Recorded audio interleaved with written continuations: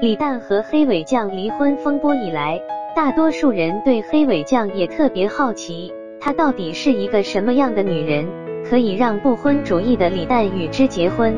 今天我们来深扒一下黑尾酱到底什么来头。黑尾酱的名字叫陈点，之所以叫黑尾酱，是她自己起的艺名而已。陈点出生于四川，妥妥的美女一枚，而且家庭条件优渥。从小就受到很好的教育，可以称得上是白富美。而鲜为人知的是，陈点毕业于军艺学校舞蹈系零五级学员，更是被号称军营之花。和演员徐璐、杨洋是同学，还与沈腾是校友。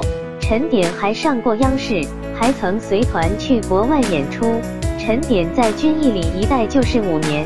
陈点毕业后被分到四川省武警文工团做领舞，本来前途一片大好，但在二零一五年他却选择退伍了。和别的网红不同，黑尾酱天生丽质，但也个性不羁，非常喜欢自由，所以他一没选择跳舞，二没选择演戏，而是开启了网店，当起了网红，风格跟学生时代迥然不同，纹手臂。在网上自黑搞怪，还发过大尺度照片，而且最让人意想不到的是，黑尾酱居然喜欢上了李诞，主动追求的他。要知道李诞的颜值可不是大帅哥，两人恩爱有加，还于二零一八年结婚。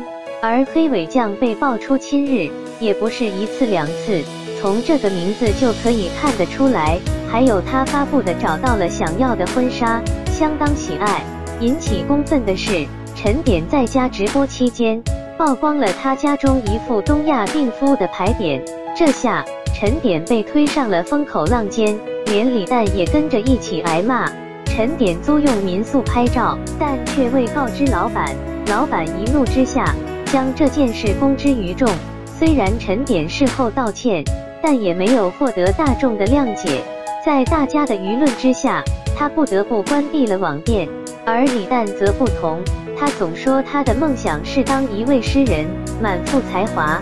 虽然落寞了一段时间，但靠着吐槽大会，李诞走进了大众的视野，他成名了。后来李诞自己开公司，成为了老板。